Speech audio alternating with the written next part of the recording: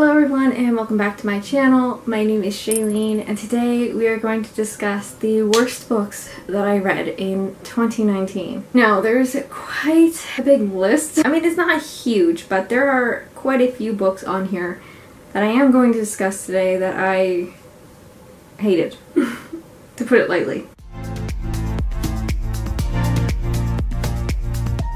First one is actually a book that my sister recommended for me to read. I really did not like it. Uh, so this is I Am the Messenger by Marcus Zusak. And one of the biggest reasons why I hated this book was one of the main characters, Ed, and the way that he viewed his best friend, Audrey.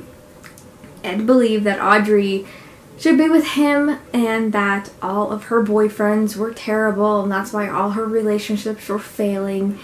He believed that Ed and Audrey should be together. It was just gross. It was cringy and yeah, just some of the stuff that Ed said about Audrey was disgusting.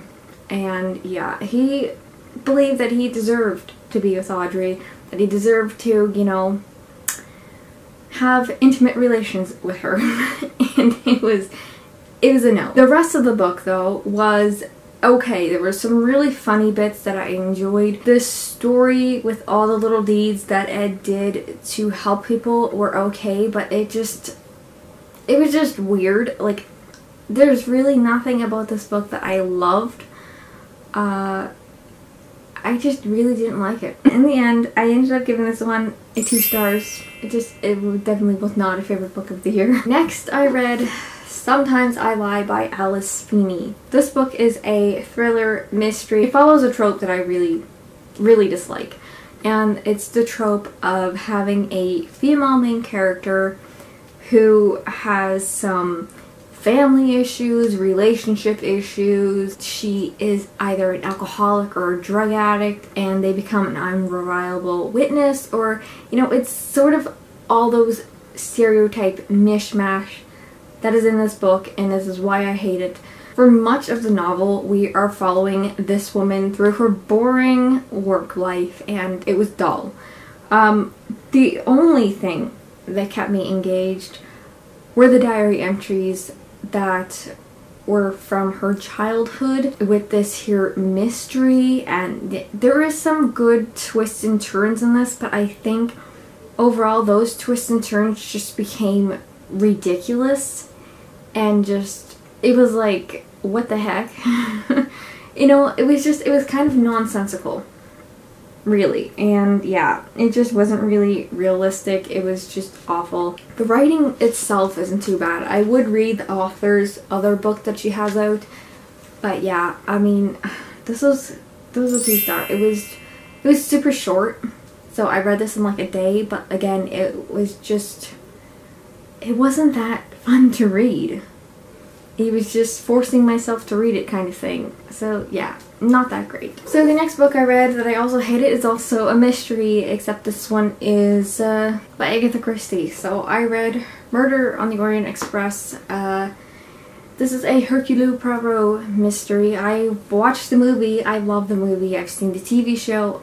I really like the TV show. Reading Hercule Poirot like in books, on paper, he comes across as the most arrogant, pompous, a-hole I've ever read about and he is utterly insufferable. Some of the conclusions that he draws just comes out of thin air and like how uh, yeah, I am so disappointed about this because I was so looking forward to reading much more from this series, but if I can't stand the main character, I'm not going to put myself through the torture of reading other books in the series, so yeah, I am super disappointed. I'm super heartbroken that I didn't love this and I hate Hercule Poirot.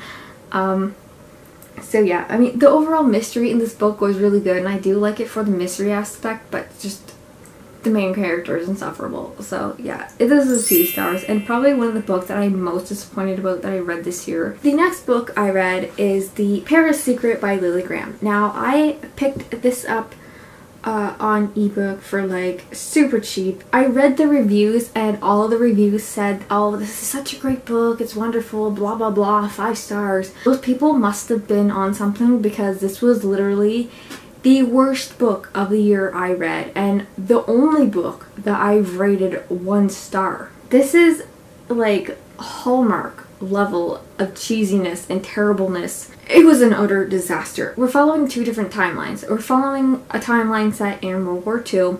We're also following a timeline set in the 60s. Valerie is the daughter of a woman who we're following the timeline of in World War II Paris. So Valerie is basically an orphan. She discovers she has a grandfather. Her aunt claims that her grandfather didn't want her, so she sees an ad in the newspaper for the bookstore that her grandfather owns and runs. She puts in her resume. She gets the job. She goes to Paris under false pretenses, not saying that she's, you know, his granddaughter. And she ends up working for her grandfather. He's grumpy. He's, you know, a French old man who's grumpy all the time.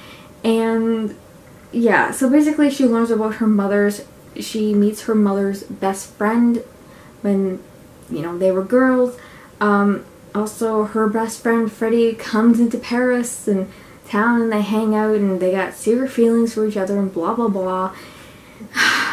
And then Valerie finds out information on her mother and also her father. She discovers that I'm I'm just spoiling it all because it's awful. You don't want to read this book. Basically, she discovers that her father was a Nazi. But oh no, he's not just any Nazi, he's a good Nazi. Which in terms of historical fiction tropes, in my opinion, that's one of the worst tropes. I hate this trope. It's just disgusting. It was it was pretty terrible. Uh, the secrets uncovered are pretty mediocre, like, and just make me want to gag. So, not only is the storyline terrible, but the writing was atrocious. Oh my god. I am not like the best at grammar and writing and all that stuff, but I could even pick out grammar and spelling mistakes in this book. Like, it was that terrible. Why did I not DNF this book? I have literally no idea. It was awful. So, yeah, uh one star, like I said before. Was literally the worst book that I read this year. Okay, uh, and the next book I read was the selection by Kiera Cass. Now, I read this book knowing that I wasn't going to like it. This is a book that everybody trashes on on YouTube and I just, I needed to read it to see what exactly it was about. Obviously going into this I knew it was going to be bad. I made a whole vlog on it, reading it, because I mean everybody says these books are terrible. So I knew it was not going to be a favorite book of mine. And they're just fun to trash on. Think of that what you will. But these are fun books to read, just to trash on. But, oh man. One of the things I hated most about this is that not only is the plot just awful, you just have, you know, the love triangle thing going on. You have, uh, this, you know, dystopian world happening in America and the girl is a singer and she's literally named America Singer. It is the most like that is the worst character name ever. Like ever. It was it was awful. So yeah, it's just this book is just little riddled with cliches and tropes and nothing happens. Like you're following a bunch of girls who go to this castle to vie for this prince's affection. They're given makeovers and gowns whatnot. I was expecting full-on catfights. Like, I wanted catfights to happen. We got none of that. Like, there wasn't any female drama. It was just this girl talking to the prince and the prince slowly falling for her and blah blah blah. It was just, yeah, it was ridiculous. Um, and there's like five books in the series and I could tell that this author is really dragging this out. Like, I, you could have fit like two books in one book with this book alone. Like, it was just so dragged out. I don't know if I'm to continue with the series because there is so many books in the series and I know it's just to be torture, but I just also love trashing on them because they are fun to read, they are trashy reads, and sometimes you need trashy reads with all the other, you know, really great books. Sometimes you just need a trash book to read. So I don't know if I'll be continuing with this, but I gave it a two star. It was pretty awful, but also pretty hilarious to read. So the next book I read was another thriller that I ended up really hating because it has that same trope that I really hate. So I read The Woman in the Window by A.J. Finn. So not only is this author a terrible piece of crap, I mean he literally is a psychological, psychopathical, whatever you want to call him. He's a liar. He lied about having multiple illnesses. He lied about having cancer, brain tumors. He lied about his parents being dead. Like everything you can imagine, this guy has lied about. Like it's pretty terrible. So yeah, I'm happy that I bought this at the thrift store so I didn't have to give my money to that crap human being. So yeah, I mean, I was apprehensive already going to this novel because it does have a trope that I really hate, which just made me hate the book even more. So the way this book is written, you fly through it. Like the chapters are so short, which I love in books. I love short chapters because you just fly through them. So yeah, you're basically following a girl who buys out of windows. She sees something that she shouldn't have seen. She's an alcoholic, a drug addict, and yeah, she has all these crazy mental health problems going on. She sees something she shouldn't see. She becomes an unreliable witness, and yeah, some stuff happened that are pretty predictable. Like, you guys know that I watch a lot of thriller shows, so I saw the twist in this coming from a mile away. I mean, you have a cast of characters that's pretty limited. You know that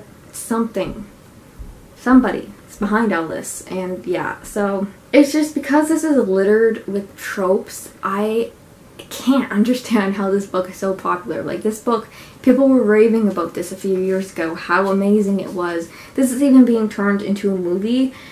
I don't know if I'm even gonna watch the movie because I just feel like it's gonna be like every other thriller movie they made from every other book. Like it's gonna be so similar to The Girl on the Train, Gone Girl, like, yeah.